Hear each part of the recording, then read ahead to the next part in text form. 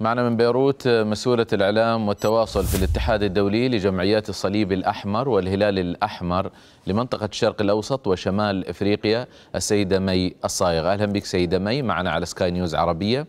إذا سيدة مي آه، يعني انحدار كبير في مستوى الخدمات الإنسانية في قطاع غزة. هناك توقف أيضا من دخول مساعدات من معبر رفح وأوضاع متردية بشكل كبير.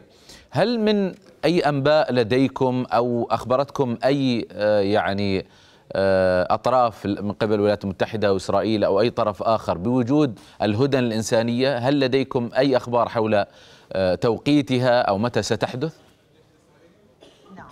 صباح الخير لحضرتك وللمشاهدين الكرام. آه للأسف مثل ما حضرتك تفضلت اليوم الواقع الإنساني بغزة كارثي على كل المستويات.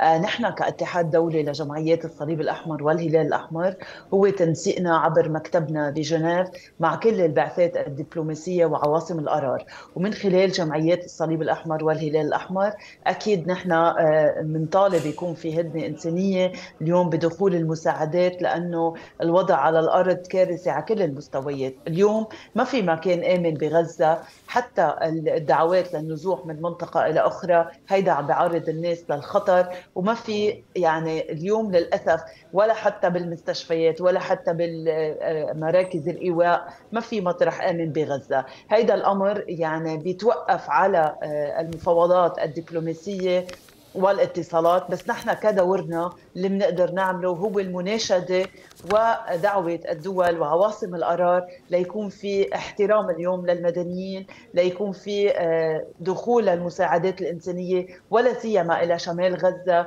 ومحافظة غزة. يعني اليوم نحن عم نشوف بعض المساعدات الإنسانية عم تدخل مشكورة كل الدول وجمعيات الصليب الأحمر والهلال الأحمر اللي عم بتأمن هالدعم ولكن هذا الأمر لا يزال غير كافي ونحن عم نشوف قد إيه المستشفيات اليوم عم تخرج عن الخدمة أكثر من 18 مستشفى و32 مركز هن اليوم بلا وقود وبلا يمكن بلا معدات طبية آه، يعني وبلا أدوية ليقدروا هن يتابعوا آه، عملهم الإنساني أه لكن سيدة مي سألتك عن الهدن هل هناك أي نعم. أخبار نعم. عن الهدن يعني آلياتها متى يعني مثل ستحدث؟ ما سمعنا إيه. نعم نعم. يعني هذا الأمر مطروح بالأروقة الدبلوماسية وبالمفاوضات مع الدول. في انحكى عن هدنة بهيدا نهاية هيدا الأسبوع. ولكن هيدا مثل ما قلت لك يعني مش نحن كاتحاد دولي نقدر نعرف بالضبط. نحن عم نناشد ليكون في آه، آه، يعني أمان للناس للعمليات الإنسانية بغزة للناس المدنيين. بس هيدا خاضع لعواصم القرار طيب آه، سيدة مي آه، الاحتياجات اليوم هناك احتياجات كبيرة جدا ما يدخل من شاحنات عبر معبر رفح آه، متواضع نعم. بشكل كبير وذلك بسبب الإجراءات الإسرائيلية ما الوضع الآن بالنسبة لمعبر رفح وبالنسبة للاحتياجات داخل قطاع غزة؟ نعم يعني اليوم اللي عم تدخل المساعدات هي بوتيرة ضئيلة نسبيا حسب الحاجات على الأرض، نحن بنعرف قبل النزاع المسلح بغزة اللي بدأ ب 7 اكتوبر كان بمعدل 100 ل 400 شاحنة بالنهار، نحن عم نشوف هلأ عم مزيد من الشاحنات عم تدخل. بالأمس دخل 106 شاحنات، آه، شفنا جمعية الهلال الأحمر الكويتي كمان أرسلت خمس سيارات إسعاف، عم نشوف الهلال الأحمر المصري عم يتولى تنسيق هذه المساعدات. بالتعاون مع الهلال الأحمر الفلسطيني وأدخالها إلى غزة، ولكن اليوم هيدي المساعدات اللي عم تدخل هي مواد غذائية، مواد طبية، آه، عم ندخل آه، أدوية ولكن للأسف بيبقى العنصر الأهم وهو أمر حيوي لاستمرار العمليات الإنسانية هو الوقود. نحن شفنا بالأمس زملائنا بالهلال الأحمر الفلسطيني بمستشفى القدس أعلنوا وقف العمليات الجراحية بالمستشفى. المولد الأساسي الكبير بالمستشفى توقف عن الخدمة عم بيعملوا ترشيد لاستهلاك الطاقة. ما عم يستخدموا المكيفات ما عم يستخدموا المصعد عم بيحاولوا قد ما فيهم يعني تخيل إنه وقف العمليات الصور ترنيم المغناطيس بالرنين المغناطيسي توقفت. كل يعني الخدمات الأساسية عم بيحاولوا يأمنوا الحد الأدنى من اليوم الخدمات الطبية. اليوم من دون من دون وقود عم يدخل إلى غزة المي ما بنقدر نكررها. المي عم تختلط بمياه الصرف الصحي. المي اليوم عم الناس عم تشرب مياه مالحة وهيدا له تداعيات كثير سلبية على حياة الناس.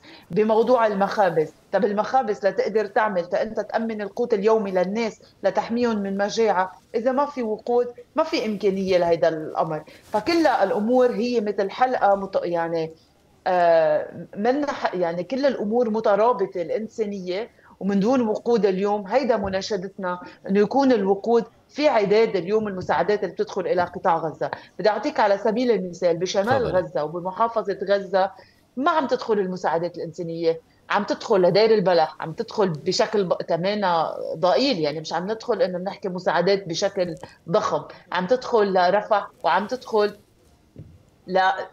لخان يونس. ولكن للأسف اليوم بشمال غزة وبمحافظة غزة هاي المساعدات ما عم تدخل. يعني زملائنا عم بيناشدونا بالهلال الأحمر الفلسطيني بمستشفى القدس. الوضع كارثي على كل المستويات من ناحية الغذاء من ناحية المياه. يعني شفت حضرتك المحيط تعرض له المستشفى القصر المتواصل. اليوم ممر واحد بيقدر يوصل للمستشفى وهيدا وعر. اليوم المستشفى عم يعني سيارات الإسعاف خارج الخدمة معظمها. فرقنا على الأرض عم تحاول تقدم هيدي الاستجابة. بس بضل هيدا الأوضاع. يعني هيدا يكاد من المستحيل اليوم إنه هيدي الفرق تقدر تواصل عملها. شكرا لك من بيروت مسؤولة الإعلام والتواصل في الاتحاد الدولي جمعيات الصليب الأحمر والهلال الأحمر لمنطقة الشرق الأوسط وشمال أفريقيا سيدة مي الصايغ